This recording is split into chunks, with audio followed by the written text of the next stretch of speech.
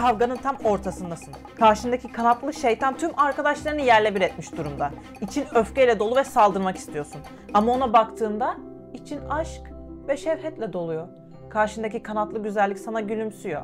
Hayatta kalan son arkadaşına saldırmanı istiyor ve sen hiç düşünmeden itaat ediyorsun. Ama bir dakika. Bu sen değilsin. Şu an bir inkübüsün etkisi altındasın.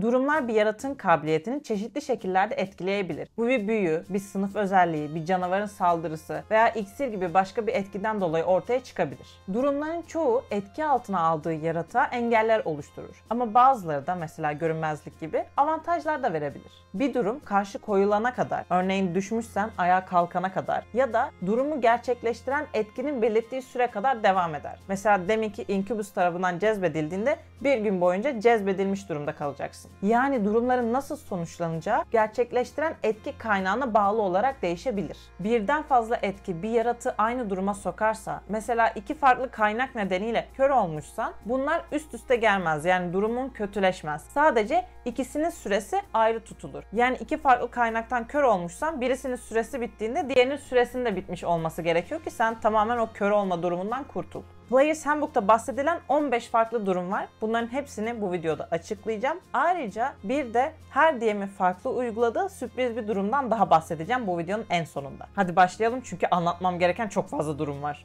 Kör! Adından da anlaşılabileceği gibi kör durumdaki bir yaratık göremez ve görüş gerektiren herhangi bir yetenek zarında otomatik olarak başarısız olur. Kör bir yaratığa karşı yapılan saldırılar avantajlıdır ve kör yaratığın yaptığı saldırılar da dezavantajlıdır. Cezbedilmiş.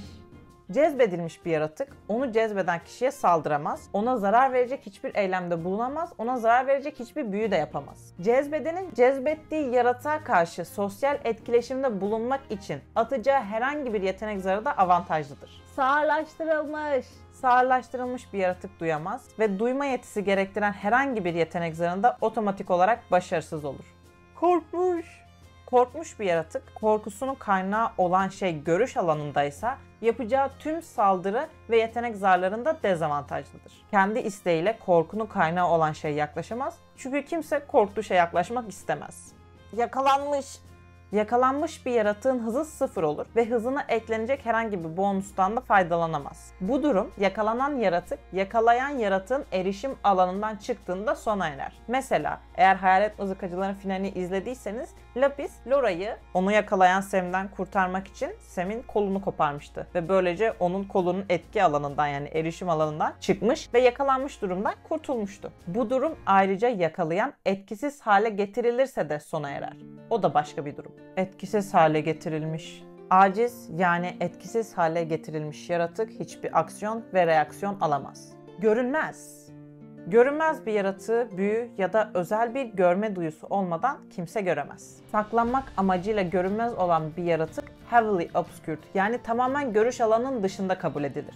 Yaratığın yeri çıkardığı seslerden ve bıraktığı izlerden belli olabilir. O yüzden dikkatli ol.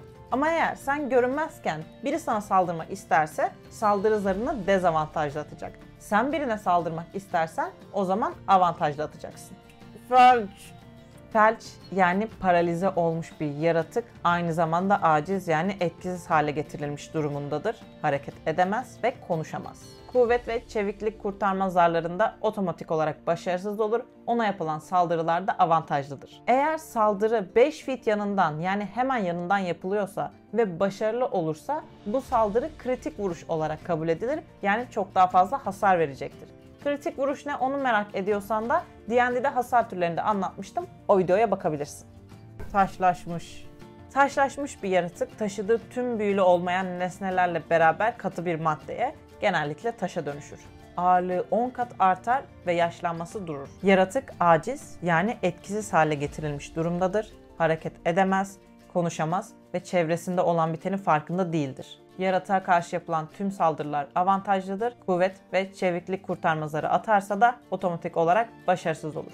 Ama tüm hasar türlerine karşı da direnci vardır ve zehir ve hastalıklara karşı da bağışıklığı vardır. Ama eğer taşlaşmadan önce vücudunda bir zehir ya da hastalık varsa bu durum ortadan kalkmaz. Var olmaya devam eder ama askıya alınır. Yani beklemede durur. Vücuda zarar vermez ama hala vücudun içindedir. Ne zaman ki taşlaşmış durumdan kurtulur o zaman içindeki bu hastalık ya da zehir etki etmeye devam edecektir. Yani sanırım taşlaşmanın birkaç artısı da var.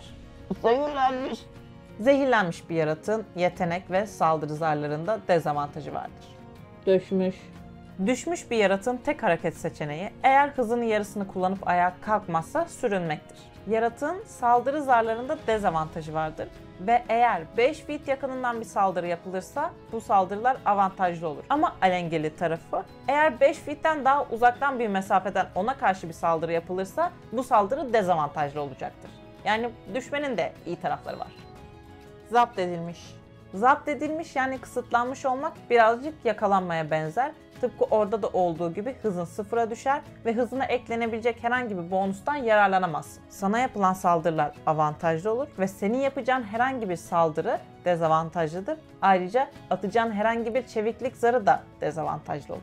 Sersemlemiş Sersemlemiş bir yaratık aciz yani etkisiz hale getirilmiş durumdadır. Bununla beraber hareket edemez ve sadece kesik kesik konuşabilir. Otomatik olarak kuvvet ve çeviklik kurtarma zarlarında başarısız olur ve ona yapılacak olan tüm saldırılar avantajlıdır.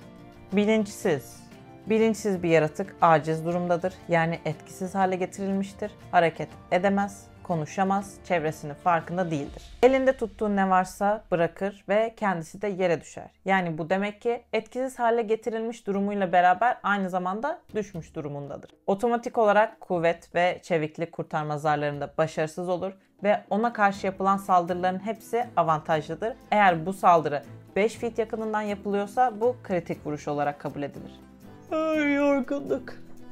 Bir önceki video olan iyileşmede kısa ve uzun dinlenmeden bahsetmişken buna birazcık girmiştim ama şimdi tam ayrıntısına inme zamanı. Yorgunluk durumu puanla ölçülür ve aldığın her bir puan daha kötü bir durum demektir. Bir 24 saat içerisinde hiç uzun dinlenme almazsan bir yorgunluk puanı kazanırsın. Eğer bir sonraki 24 saatte tekrar uzun dinlenme almazsan bir puan daha kazanacaksın ve bir 24 saatte bir puan daha, bir puan daha ve bir puan daha. Bunun dışında açlık, dondurucu ya da kovurucu sıcaklık gibi çevresel faktörler, 8 saat boyunca durmadan yolculuk etmek, bazı canavarların saldırıları, bazı büyüler sana yorgunluk puanı kazandırabilir. Yorgunluk durumuna karşı bir dayanıklılık kurtarma zarı atılır ve eğer bu zarda başarılı olursan koşullar ne kadar zor olursa olsun sen bu yorgunluk puanını almadan macerana devam edebilirsin. Bu dayanıklılık kurtarma zarında ne kadar atman gerektiyse etkinin kaynağına göre değişebilir. Yorgunluk durumunun 6 seviyesi vardır ve her alınan puan bu yorgunluk durumunu bir üst kademeye çıkarır. Bir yaratık bulunduğu seviyenin etkisiyle beraber o seviyenin altındaki tüm düşük seviyelerdeki diğer etkilere de maruz kalır. Yani örneğin ikinci seviyedeki bir yaratığın hem hızı yarıya düşer hem de tüm yetenek zarları dezavantajlıdır. Yorgunluğu gideren herhangi bir efekt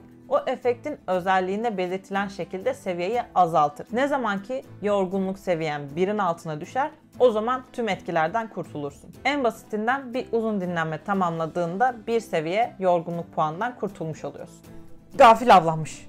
Şimdi başta neden sürpriz durum dediğimi anladınız mı? Küçük bir kelime oyunu yaptım. Ve evet D&D 5e'de yani 5.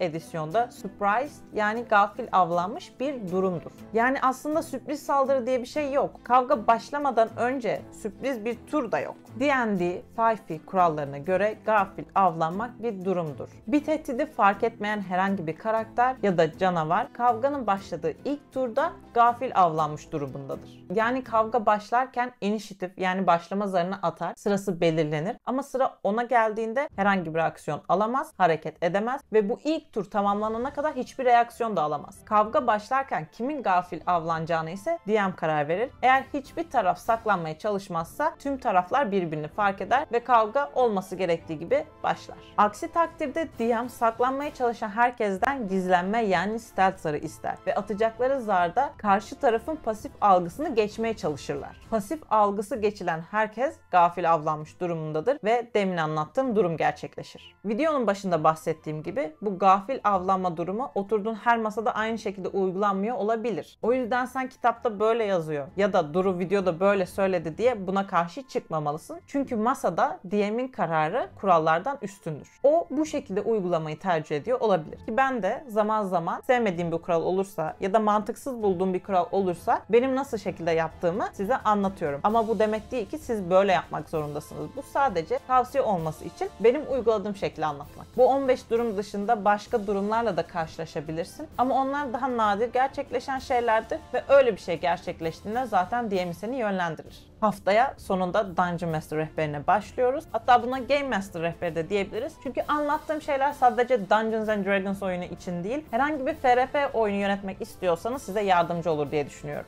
Haftaya görüşürüz.